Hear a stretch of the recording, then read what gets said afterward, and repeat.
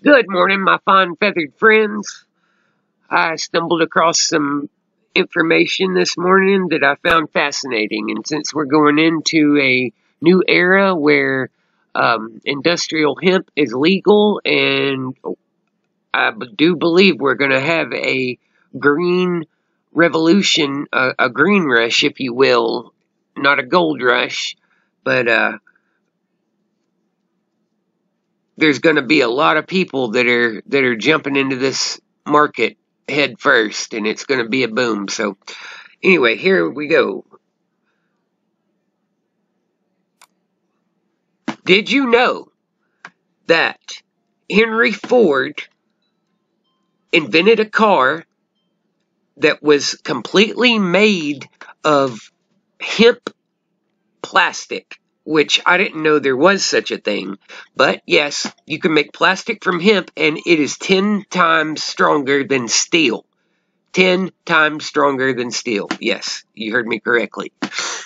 So, Henry's Henry Ford's first Model T was built to run on yes, hemp gasoline. He made his own fuel from hemp.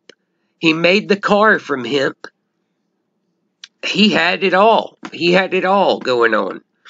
So, the car itself was constructed of hemp.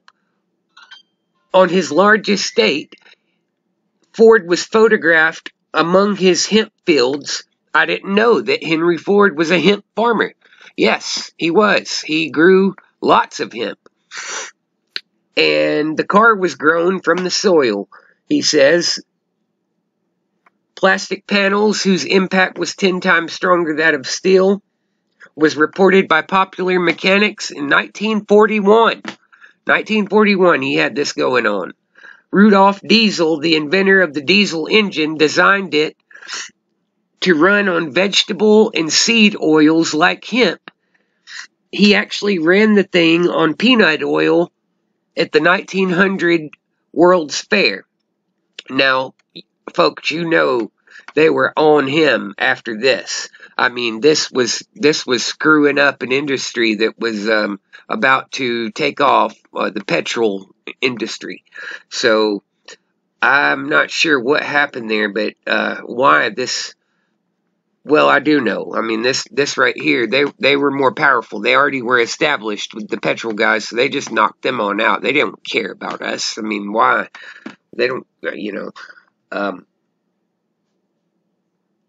let's see. So, I was going to go here. Okay, hemp fuel.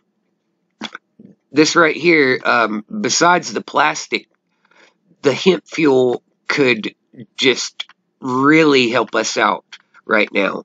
Hemp biodiesel, hemp ethanol, methanol made from the stock. Uh, hemp biodiesel is made from oil of the pressed seeds to clarify further, ethanol, which that's sugar alcohol, um, is made yeah is made from sugar, starches, waste paper, and forest products, and methanol is made from woody pulp matter using processes such as gasification, acid hydrolysis, and enzymes. Hemp can be used to make both ethanol and methanol in this day of oil wars, peak oil, and the accompanying soaring prices, climate change, and oil spills such as the one in the Gulf by BP, it's more important than ever to promote sustainable alternatives such as hemp ethanol. Yes, I totally agree with this. This right here would take over. It would be um, so good for Mother Earth that's having such a problem right now. Her blood pressure's up frequently now. Her heart rate's up frequently now, which you can go to the Schumann, Schumann resonance um, monitor detector and, and watch this for yourself.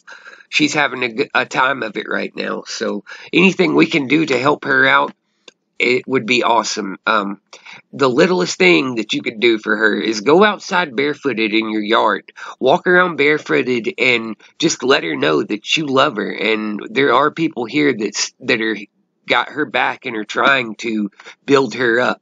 She will suck the energy out of your body. Those good energies will feed her. And uh, I recommend everybody do that.